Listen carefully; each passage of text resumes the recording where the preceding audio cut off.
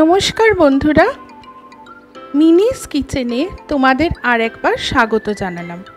আজ আমি তোমাদের বানিয়ে দেখাচ্ছি শাহি মিল্কি পানির।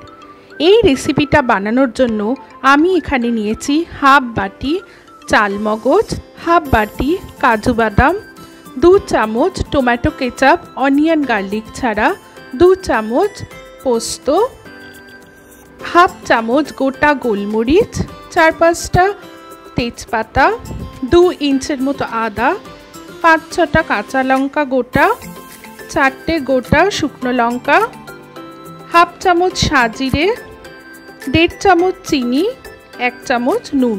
এছাড়া আমি নেব হাফ কাপের মতো যে কোনো রকম রিফাইন্ড অয়েল। তোমরা চাইলে এখানে বাটারও ইউজ করতে পারো। আর চারশো গ্রামের মতো ফ্রেশ পানি, এক চামচ কাসুরি মেথি সমস্ত বাদাম এবং পোস্তটাকে আমি ঠান্ডা জল দিয়ে দু ঘণ্টার মতো ভিজিয়ে রাখব। ভিজে যাওয়ার পর আমি এগুলোকে একসাথে একটা পেস্ট বানাবো। জল ফেলে বাদাম এবং পোস্ত আমি ভেজাতে দিলাম দু ঘণ্টার মতো। ছোট গ্লাসের এক গ্লাস দুধ নিয়ে নিলাম। পানিরটা সমান সাইজের কিউব করে আমি কেটে নিচ্ছি।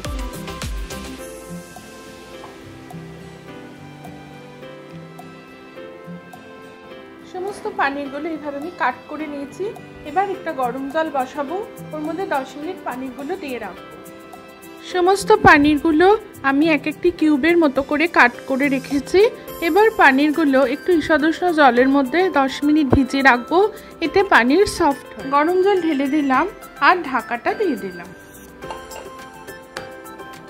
ছোট ছোট করে আদাটা কুচি করে নিলাম। যাতে আমার পেস্টটা স্মুথ হয়। মিক্সচারটা বানানোর জন্য ভিজিয়ে রাখা বাদামগুলো আমি এক এক করে দিতে থাকলাম। কাজু বাদাম। চালমগজ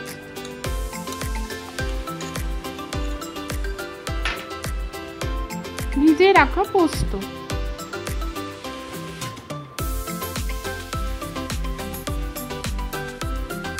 আদা কুচি। আমি এই সমস্তটা দিয়ে ব্লেন্ড করে নেব, কারণ আমার একটা মশলা এখানে পেস্ট করতে হবে।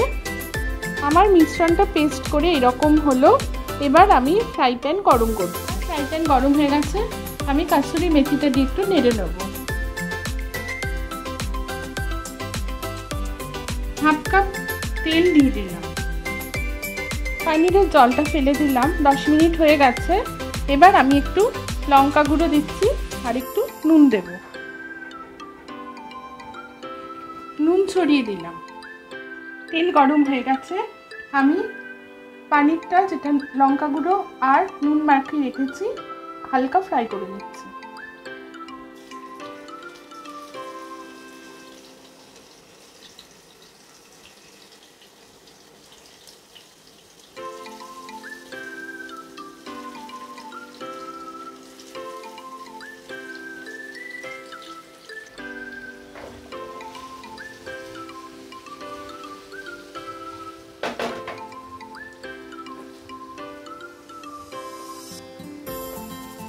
বেশি নাড়াচাড়া করব না, পানির ভেঙে যাবে।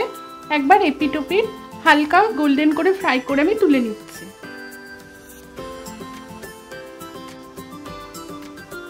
এটা আমি লো ফ্লেমেই ফ্রাই করেছি। পানির কিন্তু ফ্রাই হয়ে গেছে, আমি এটা তুলে নিচ্ছি।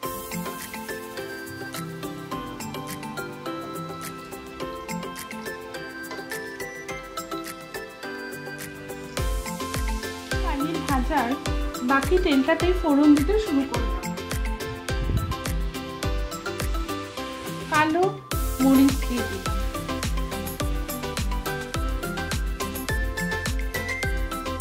সাজিরে দিয়ে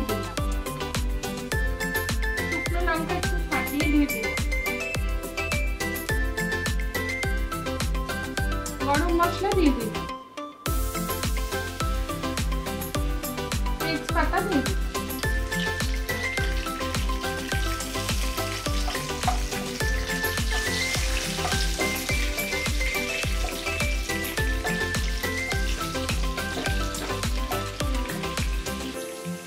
ভাজা ভাজা হয়ে গেছে, সুন্দর ভরভরে গন্ধ বেরিয়েছে। আমি আঁচটা মিডিয়াম ফ্লেমে রেখে করছি। আমি এবার বাদামের পেস্টটা দিয়ে দিচ্ছি।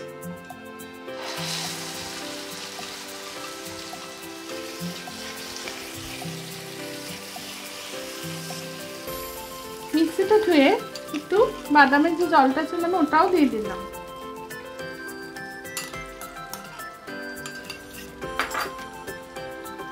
টমেটো সস দিয়ে দিলাম।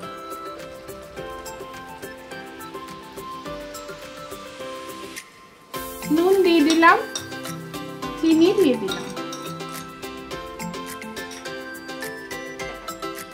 এবার মিশ্রণটাকে ভালো করে আমি মেশাচ্ছি।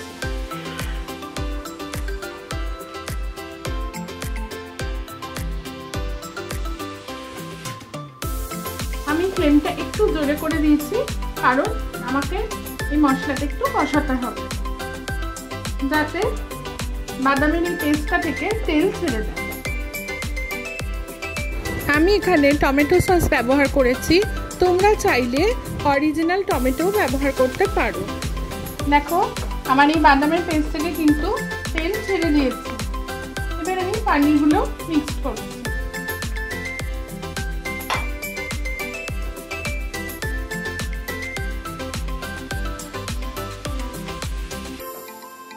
সমস্ত পানিরগুলো বাদামের পেস্টের মশলাটার সাথে আমি এপিট ওপিট করে মিক্সড করে নিচ্ছি।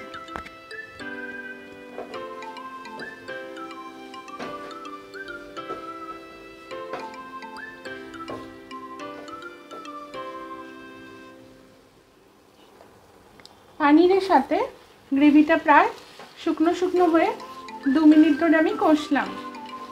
এবার আমি দুধটা ঢেলে দেবো। দেখো পুরোপুরি তেল ছেড়ে দিয়েছে।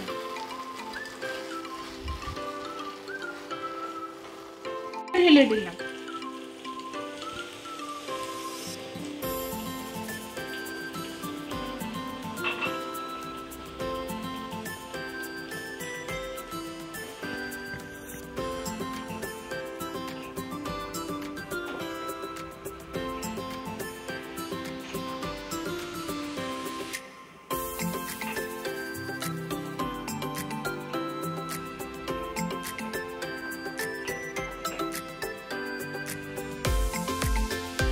গ্যাসের ফ্লেমটা সিমার করে আমি ঢাকাটা দিয়ে দিলাম চার মিনিটের জন্য।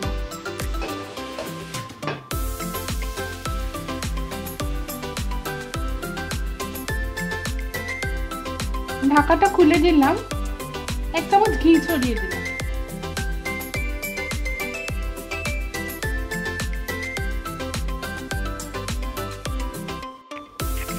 এক পিন জাফরান দিয়ে দিলাম। এবার যে মেথিটা আমি ভেজে রেখেছিলাম, কাসুরি মেথি পাতাটা, ওটা আমি দিয়ে দেবো। হাতে একটুখানি এরকম ভাবে নিয়ে এরকম ভাবে ঘষবো, গুঁড়ো গুঁড়ো হয়ে গেল।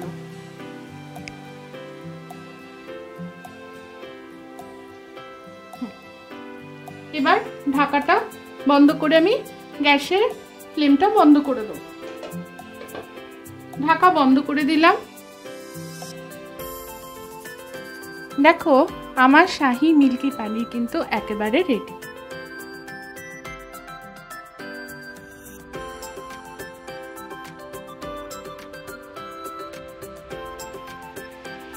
আমার পানির কিন্তু একেবারে রেডি তোমরা বাড়িতে রেসিপিটা ট্রাই করো। যদি তোমাদের ভালো লেগে থাকে, তাহলে আমাকে কমেন্ট সেকশানে জানিও। আর প্লিজ আমার চ্যানেলটা সাবস্ক্রাইব করো। ভালো থেকো, সুস্থ থেকো, আবার আসব নতুন ভিডিও নিয়ে। নমস্কার।